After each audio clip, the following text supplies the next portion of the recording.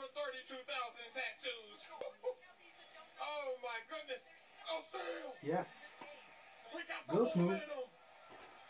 I'm looking for a splash. Russell Westbrook leaves me. Why would he leave me? Why?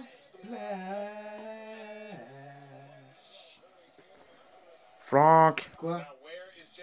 There he is. bordel de merde, ça tourne quoi Hein Qu'est-ce que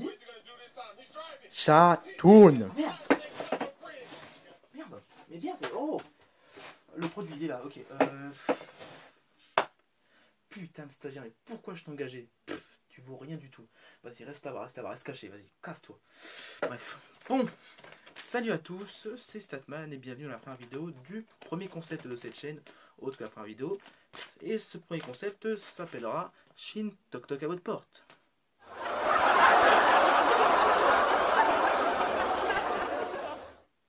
Je sais, très drôle, très drôle. Donc, ce que, ce, ce que je tiens dans les mains, je vous le montre tout de suite, ce n'est pas un radiateur ambulant, même si on pourrait le croire, en plus sa bouche est rouge, mais c'est un produit chinois que je vais tout de suite vous montrer en caméra. Et petite surprise pour vous, parce que j'ai réussi à dégoter un pied et une caméra pour pouvoir tourner des vidéos. Donc euh, c'est un essai, vous me direz ce que vous en pensez. Je me suis un petit peu ajusté, parce que là, en fait, en dessous, il y a une panière et un carton qui permettent de tenir droit la caméra. Sinon, ça tenait pas. Donc, ce produit que vous voyez ici, que j'ai remis dans l'enveloppe, c'est une tablette, une petite tablette de 7 pouces que je vais tout de suite vous déballer. Donc, regardez déjà, je l'ai reçu, je je l'ai commandé sur Tiny Deal, et j'ai cho- choisi le. Le. Comment ça s'appelle? Euh, euh, j'ai- choisi l'expédition par European Express qui m'a envoyé par Chronopost. Donc regardez-moi ça. Autant que l'enveloppe externe l'air très solide, autant qu'à l'intérieur, vous avez le droit à du bulle à foison, ce qui est vraiment une très bonne chose. Comparé à d'autres à d'autres transporteurs, voilà, transporteurs euh, qui tiennent en trois lettres, qui eux par contre euh, vous envoient le strict minimum. Bref, vraiment je recommande European Express qui en plus vous envoie la tablette, en tout cas je pense que c'est plus Tiny Deal parce que justement il n'y a pas de boîte associée, dans deux pochettes de bulles, ce qui est vraiment une très bonne chose pour le transport. Donc voilà, première série, deuxième série, et voici la tablette. On va faire un tout petit zoom temps que je me débarrasse. Donc voici la tablette, une petite tablette 7 pouces. Donc pour tout vous dire, cette tablette s'appelle la Q88. Voilà, c'est pas bon. On y est. Cette tablette est la Q88. Je l'ai achetée sur Tiny Deal pour la modique somme de 38 euros. En tout cas en ce moment, je sais plus quel prix je l'ai acheté. euh, Ça fait un petit moment. Donc c'est l'une des tablettes les enfin les tablettes les moins chères du site et même les moins chères en général sur le marché. Donc euh, cette tablette 7 pouces c'est pas non plus un iPad au niveau du iPad, un iPad, euh, une Nexus, euh, une Nexus 9 au niveau du l'équipement. Donc l'équipement est assez modeste, je vais vous le détailler. Donc cette tablette, je vais vous l'allumer. Donc elle ressemble à ceci. Je vais essayer de l'approcher de la caméra. C'est un écran 7 pouces. Est-ce que vous pouvez voir? Ah tiens d'ailleurs je l'ai utilisé pour commencer mon test. Voilà, je vais mettre Dash. Est-ce que vous pouvez voir? C'est Android. Maintenant, je vais vous dire tout de suite quelle version c'est. On va aller dans les paramètres. Cette version Android, c'est Android 4.4.2, donc une version KitKat. Nous allons montrer tout de suite avec la petite animation de Google. Hop là, et puis youpi youpi. D'ailleurs, cette tablette elle est totalement disproportionnée, ce qui est un petit peu bizarre, mais bon, c'est pas grave, au moins elle, elle est présente. Donc Android KitKat là-dessus, un très beau fond d'écran euh, tout rose. Merci, euh, merci le constructeur. Donc nous allons la reposer dans le champ. J'ai un petit peu de mal à gérer ça parce qu'en fait la caméra est posée en devant moi, donc c'est très dur de gérer ce qui se passe en même temps. Donc je vais faire un petit ajustement au fur et à mesure, vous inquiétez pas. Youpi, youpi, youpi. Youpa, voilà. Donc la tablette, c'est une tablette 7 pouces Android KitKat, un écran 480 pixels. Donc vraiment, je vous le dis, on voit assez bien les pixels. Malgré tout, cet écran est quand même assez regardable. C'est vraiment un écran de bonne qualité avec des couleurs qui sont, je le trouve, assez fidèles. Par rapport à un autre modèle de 88 que je vous montrerai plus tard, qui par contre lui a un écran un peu moins bon. Mais bon, je pense que je suis peut-être tombé sur un bon écran dans la série des LCD. C'est un écran de technologie TFT, donc vous attendez pas à avoir des super angles de vision, donc on va essayer de le montrer en caméra. Dans ce sens-là, c'est plutôt honnête. Par contre, si on se prend dans ce sens-là, là, le bas blesse et ça fait vite mal aux yeux. Pour ça que je recommande plus de la tenir dans ce sens-là. Voilà. En même temps, je vais pas vous montrer la connectivité. Donc cette tablette est connectée au Wi-Fi. Enfin, utilise en tout cas le Wi-Fi. Donc elle possède un accéléromètre parce qu'elle gère la rotation automatique. Un GPS, non, mais bon, elle peut se connecter au GPS via, via le réseau Wi-Fi, ce qui n'est pas forcément très très utile, mais bon, pourquoi pas. Hein. Elle possède aussi le Bluetooth. Et c'est à peu près tout.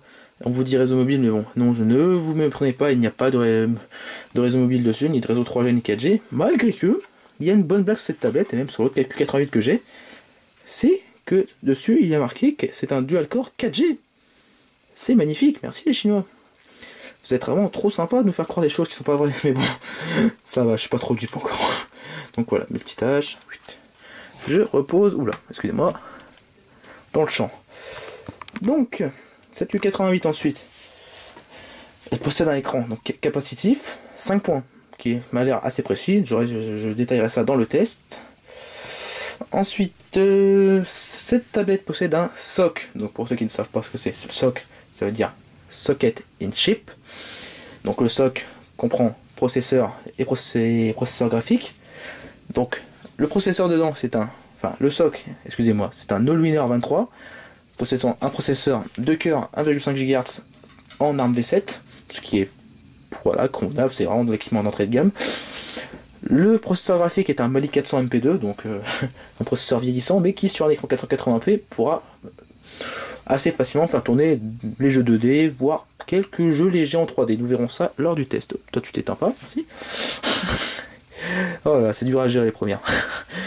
Dans cette tablette, il y a 512 Mb de RAM, ce qui pour une version comme celle-ci est suffisant parce que Android 4.4 est largement optimisé pour des appareils avec 512 Mb de RAM comparé à l'autre 88 que j'ai eu entre les mains et que je vais avoir bientôt, qui par contre elle a 512 Mb de RAM aussi, mais qui est sous Android 4.2.2, ce qui est un peu plus problématique parce que ça tourne un tout petit peu moins bien, malgré que ce soit quand même malgré tout un ça donne malgré tout un bon résultat, même si je trouve le résultat meilleur sur cette tablette sur le peu que j'ai pu voir.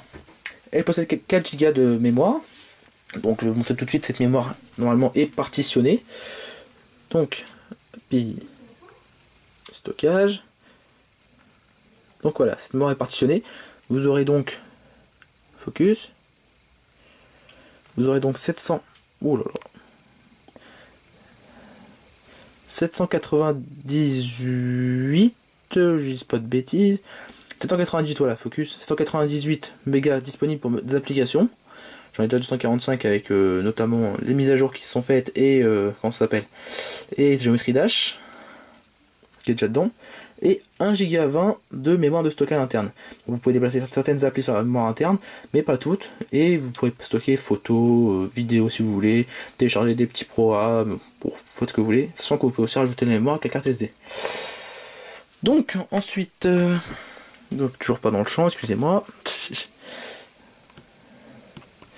Ensuite, euh, cette tablette euh, nous propose aussi deux sympathiques caméras que vous pouvez voir ici.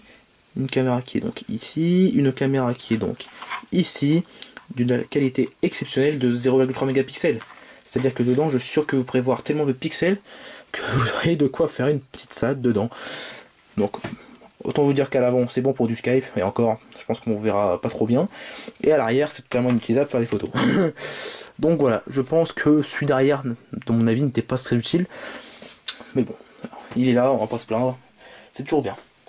Cette tablette est dotée d'une batterie de 2800 mAh. Nous testerons ça pour voir si l'autonomie est convaincante ou pas. Et cette tablette possède aussi la capacité à faire l'USB OTG, ce qui vous permettra de brancher des clés USB sur votre tablette par exemple pour euh, visionner des photos, des vidéos euh, et toutes sortes de choses. Donc voilà, je, crois que j'ai fait le tour pour cette présentation. Voilà, donc euh, je vais la tester pendant environ une semaine ou deux, sachant que j'ai d'autres produits qui vont arriver aussi en test, on fera comme on peut. Donc dites-moi si vous avez aimé cette présentation, ce, ce petit tour de propriété rapide.